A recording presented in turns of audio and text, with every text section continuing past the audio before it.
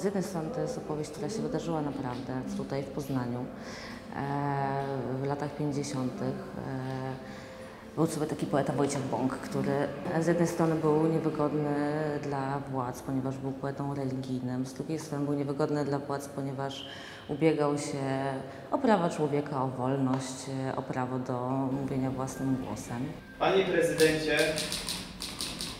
Bolesławie Wierusz, zwracam się do pana z prośbą o możliwość wyjazdu z kraju.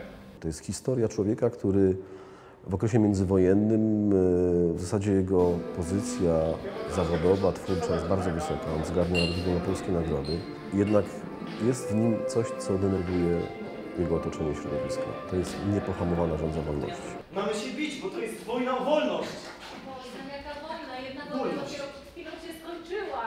Bąk był poetą, który nienawidził kajdan. E, I to brzmi patetycznie, ale on nienawidził do tego stopnia, że w okresie stalinizmu potrafił chodzić na Plac Wolności, tutaj kilometr dalej od teatru e, i na stołeczku sobie stawać i krzyczeć o potrzebie tego, żeby się wyzwolić z tego, co jest wokół.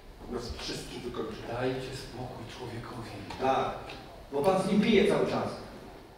To był człowiek, który w tym wszystkim, to jest najgorsze, został zglanowany przez własne środowisko, przyjaciół, twórców, literatów.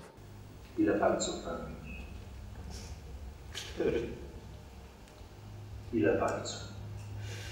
Cztery. Ile palców?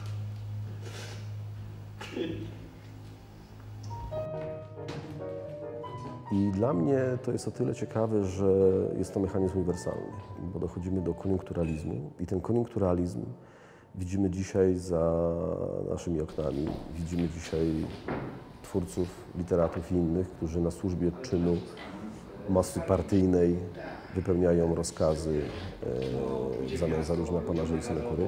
I historia Bąka jest uniwersalna. To znaczy, oglądając historię Bąka, mam nadzieję, że Państwo pomyślicie sobie o tym i zadacie pytanie, czy koniunkturalizm jest we mnie, czy koniunkturalizm jest narzucony przez określoną epokę.